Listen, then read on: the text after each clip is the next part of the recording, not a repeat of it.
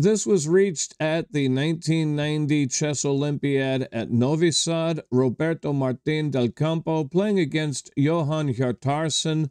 Del Campo has just played queen from f2 to f4 in answer to rook e2, which was a double exclam. Now, he should have clearly taken the knight. I'm not sure why he didn't, but this is what it is.